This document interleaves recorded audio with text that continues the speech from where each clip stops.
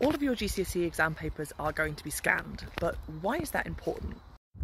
Hi, I'm Dr. De Bruin. I'm a GCSE and A-level science teacher and I also make revision videos on YouTube. As soon as you sat one of your GCSE exam papers, it's going to be sent off to the exam board where they're going to process it and send it on to the examiners. They're going to cut off the margin and feed the whole thing through a massive scanner. And then your examiner is just going to have your paper on a computer screen. They're never actually going to get the physical object.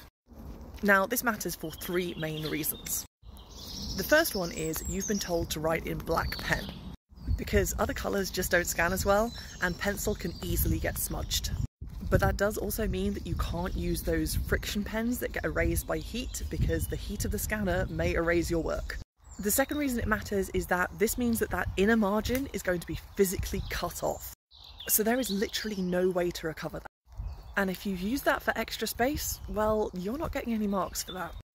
Like I said, your examiner is never actually going to get your physical paper. It's just going to appear on their computer screen. And they're going to get it one single question at a time. The bit of the paper corresponding to a particular question is going to be whited out on their screen and everything else they just can't see. Now, there is a button that they can press in order to see the rest of the paper. So, say you're writing and you run out of room and then there's just some white space underneath and you carry on into there, that's fine. They'll be able to see that you've carried on writing, they'll press the button and they'll just mark all of your work.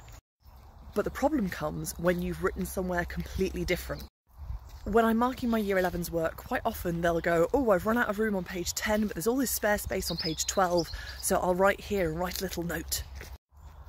But your examiner's not going to see the little note because they're not going to look at page 12. So if you do run out of space, use the extra pages at the back.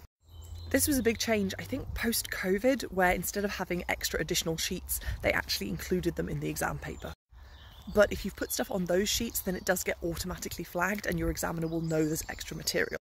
But even if you're using those, I would write a note where the original question is saying see extra pages to make sure that they definitely look for that bit.